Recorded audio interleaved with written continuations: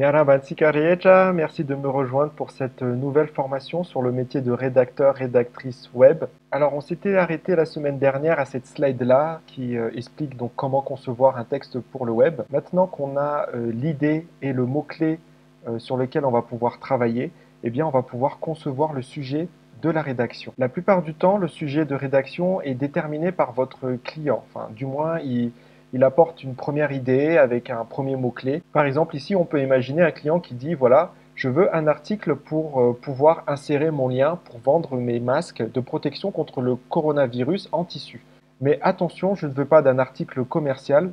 Le sujet doit être traité avec une vocation pratique et conseil. Donc c'est à vous en tant que rédacteur de devoir concevoir ce sujet.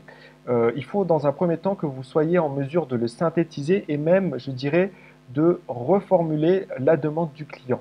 Cela va le rassurer sur le fait que vous avez compris ce qu'il veut et que vous avez même commencé à lui donner un début de solution à son problème. Par exemple, ici, voici une réponse euh, de rédacteur que vous pourriez lui faire. Vous allez reformuler sa demande en commençant par « si j'ai bien compris », vous voulez donc un article qui explique comment se procurer des masques en tissu pour se protéger du coronavirus. Vous pouvez continuer ensuite par « pour cela, je vous propose de traiter dans un premier temps la question de l'accessibilité aux masques, puis dans un second temps, les astuces et les conseils pour créer, pour fabriquer soi-même son masque à la maison. Maintenant, il faut être en mesure de définir un angle clair qui va pouvoir du coup orienter votre sujet. Je vous ai préparé ici ma définition de l'angle sur quatre différents points. Premier point, l'angle doit servir à exprimer de manière originale, c'est-à-dire unique, attractive, authentique, euh, les besoins éditoriaux du client. C'est ce qu'on a vu un petit peu euh, avant. Ensuite, l'angle doit répondre à une série de questions que peut se poser le lecteur de votre article. Attention, le lecteur de l'article est différent euh, de votre client. En fait, il s'agit de la cible de votre client et aussi des utilisateurs du site. Troisième point, l'angle détermine un sujet dans lequel la question principale sera traitée. En général, cette question principale sera traitée dans le cœur de l'article. Enfin, quatrième point, l'angle doit permettre de tenir en haleine le lecteur, de lui donner un fil conducteur tout au long euh, de sa lecture et de lui permettre une lecture analytique de celui-ci. On reviendra un peu plus tard sur ce que, j'appelle une lecture analytique, c'est-à-dire une lecture non linéaire. Euh, on en parlera euh, un peu plus tard dans les autres slides de la formation du coup.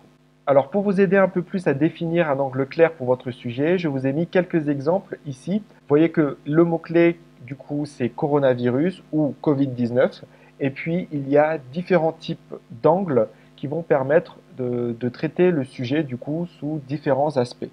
Alors si on prend l'angle gain par exemple, eh bien on peut traiter euh, le sujet du coronavirus avec cet angle-là de gain en posant euh, la question titre Comment booster son système immunitaire pendant la crise du coronavirus? Angle secret, les secrets de la recherche médicale sur le Covid-19.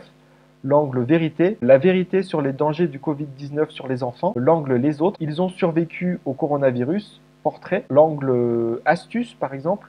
Euh, la checklist ultime pour se protéger du coronavirus. Et là, on peut imaginer du coup euh, tout ce qu'il y a à faire comme gestes barrières, et précautions pour éviter de se contaminer, de contaminer les autres. L'angle valeur immédiate, les meilleurs moyens de prévention contre le Covid-19. Euh, l'angle nouveauté, Kawasaki, le nouveau coronavirus, point d'interrogation. Euh, vous avez l'angle attaque aussi que vous pouvez utiliser, euh, par exemple ici sur un sujet un peu polémique. Industrie du vaccin et Covid-19, santé publique ou business l'angle données d'autorité, l'impact socio-économique de la crise du coronavirus selon le FMI, et enfin, vous pouvez utiliser par exemple un angle histoire ou un retour sur l'histoire du début de la crise du coronavirus. Une fois que vous avez terminé du coup de définir votre angle, eh bien vous allez pouvoir hiérarchiser euh, les différentes informations que euh, vous souhaitez euh, organiser dans votre rédaction.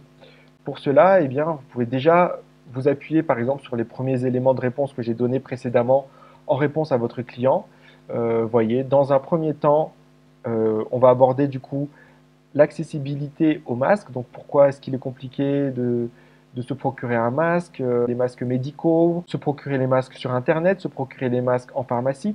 Donc ça, ça peut être inclus dans la première partie. Ensuite, vous pourrez traiter la seconde partie sur eh bien, quelques conseils et les astuces pour créer euh, fabriquer son masque soi-même à la maison. Ainsi, vous pourrez appliquer votre plan et euh, commencer à réfléchir au contenu de votre article. La semaine prochaine, nous verrons ensemble l'importance du titre. Et euh, du coup, je vous propose qu'on s'arrête là aujourd'hui. Je vous dis à la semaine prochaine pour une nouvelle formation. J'espère que ça vous a plu. Si c'est le cas, N'oubliez pas de m'encourager avec un petit pouce bleu, ça fait toujours plaisir et c'est 100% gratuit. Et à vous abonner à la chaîne si ce n'est pas encore fait, comme ça vous êtes sûr de ne pas rater la suite. Et eh bien quant à moi, il ne me reste plus qu'à vous souhaiter une très belle semaine et je vous dis à la semaine prochaine. Ciao tout le monde